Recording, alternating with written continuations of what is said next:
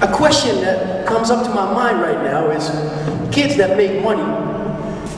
I can understand it from a development aid uh, point of view that you know that it's helpful.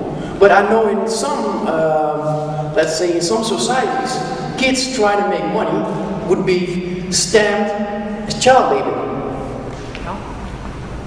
And um, well, maybe our last uh, speaker is going to be Martin Burt from Paraguay. Uh, maybe you can address that issue a little bit. Um, but also, I know for a fact you can uh, address the um, one, one question I really have in my mind, and, you know, to, to wrap it up, since you're the last speaker, is uh, what is the advantage of using different models in different regions? Because all of you are coming from different regions, and it's all the Aflatoun uh, model, basically, but there are differences. Obviously, you just spoke about Muslim schools, for example, and that's different than in Eastern Europe. So could you tell us a little bit about the advantage of using different models, basically? Hello, I'm sorry I'm the last one. I'll try to be very short. In South America, we have the same problem that any country has. How do you motivate your youth?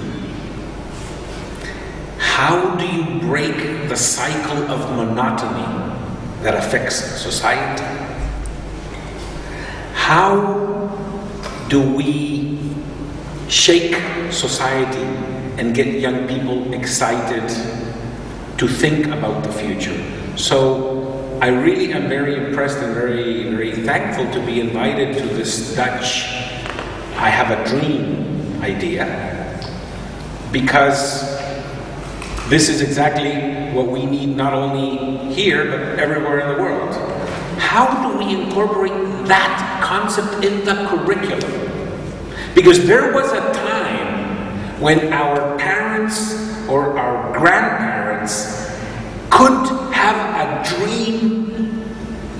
and could motivate themselves out of poverty and could immigrate and could do great things. Who put off the fire in our societies? Whose hand said, don't dream, work? How can we put back the dream into the curriculum?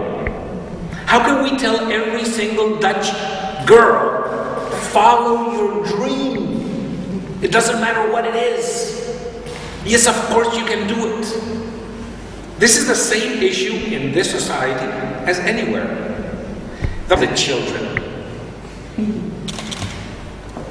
Of course, it can't be done. It's against the law. It's against the, the United Nations Convention of Human Rights. It's against everything. Of course, people are more interested in not rocking the boat or changing the world than in solving how many millions of Filipino children can be uplifted from poverty in this way.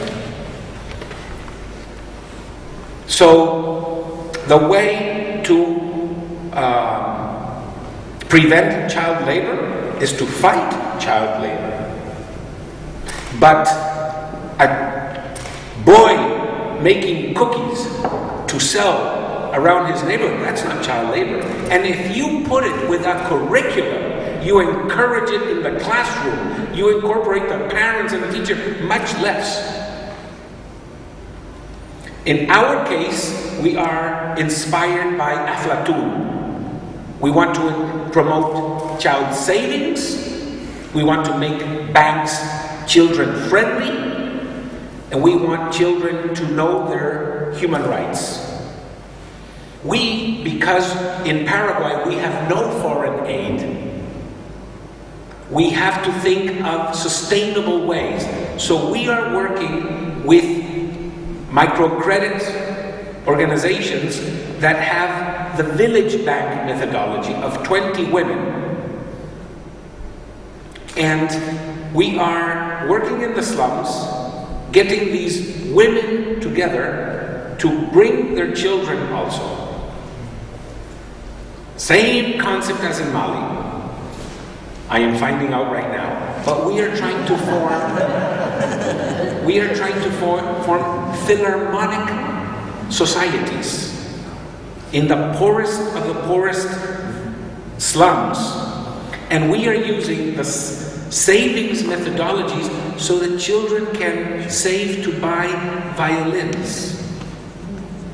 Because if there is anything that elevates extremely poor people up is their ability to get together and to form and to play classical music. Of course, it is not in one single manual of economics, but this is what really happens. So let us open our brains, let us open our minds, let us encourage banks for children, run by children. Let us encourage these challenges to paradigms. Who said that the Muslim children were destined to be poor because of the Quran? Ask them. So, this is what I, I, I, I, really appreciate this invitation. Let's have a dream. Let's, let's challenge conventional wisdom. And let's come up with a dream. Let's invite, let's have a curriculum that tailors every girl and every boy saying, follow your dream. Do not believe people who tell you that cannot be done. Yes, of course you can be an astronaut and take your dog with you and stuff like that. Thank you very much.